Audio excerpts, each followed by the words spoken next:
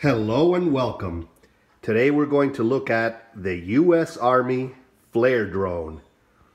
This is not an altitude hold or camera or GPS quadcopter, but it's a small flyer that is very bright and lots of fun to fly. So let's check it out. Now the drone comes in this uh, military themed uh, box, uh, kind of with green camouflage coloring and uh, clear area here where you could actually see the drone and uh, it says glowing crash guards and uh, very neat look to it. US Army flare drone.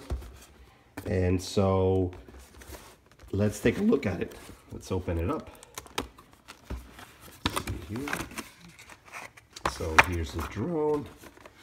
And here is the manual flare drone. And then I believe at the bottom of the box there's more. So let's this out here. got here, got another box in here. And here we have the right there. And let's see what's in this box. This right here. Got a little bag with stuff in there. So let's take a closer look at all of this right here. So here's everything once it's out of the box. You have the transmitter, a USB charger, a screwdriver, four spare propellers, the drone, and an instruction manual. The screwdriver is probably primarily used to change the batteries on the transmitter that requires a screwdriver. But aside from that, uh, changing the battery on the quadcopter doesn't really require a screwdriver. So uh, let's take a closer look at the drone. Now here's the drone, very sharp looking here. It does have a um, 3.7 volt, uh, 500 milliamp uh, LiPo battery inside of it. And so it's you simply replace it in there, you just pop it in and you snap this door shut. And then uh, there's a an on and off switch right there at the bottom and it has these little uh, foam stoppers right here at the bottom of the landing legs. And overall a neat little quadcopter here. Um, small easily removable propellers and they are color coded to uh, denote the direction. You can also denote the direction by the lighting on the um, outer rims of these propellers and but overall a very aerodynamic design. Um, you know nice battery compartment there and good landing legs right there very sturdy.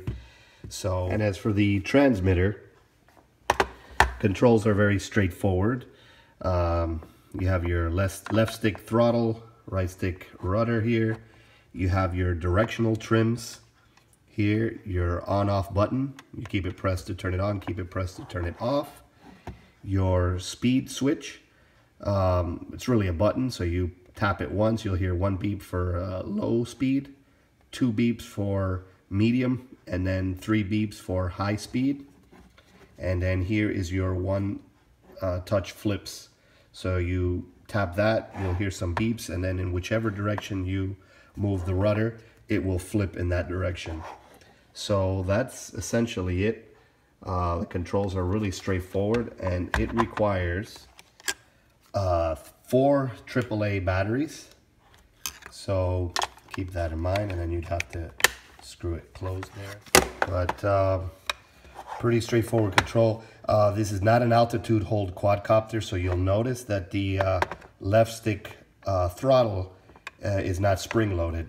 So yeah, definitely a manual uh, quadcopter here, but very fun, very fast, and I'll show you basically how you set it up for a first flight, and that's about it. Uh, you turn her on like that, and you'll see it flashing. Then you've got to bind it, so you turn on the controller, and the binding process is up and down on the throttle. You hear a beep, and that's it. You're basically ready to go. Uh, you apply a little bit of throttle, and you see that it's ready to go. So a very straightforward, very cool looking little quadcopter, uh, especially for a little night flight outside. So uh, nothing too fancy in terms of features, no camera, no brushless motors or uh, GPS or anything like that. It's just a brushed uh, manual quadcopter, uh, pretty small, but it's uh, fast and very nimble and uh, may require a little experience, but it's really cool. So uh, we'll take it for a little flight and you can check it out.